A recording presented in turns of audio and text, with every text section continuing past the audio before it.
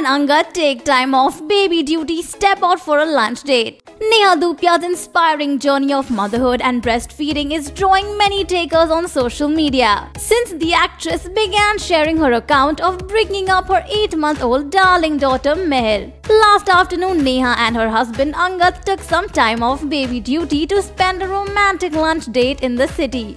Neha was seen wearing an off-shoulder breezy number and Angad looked dapper in a blue jacket and denims.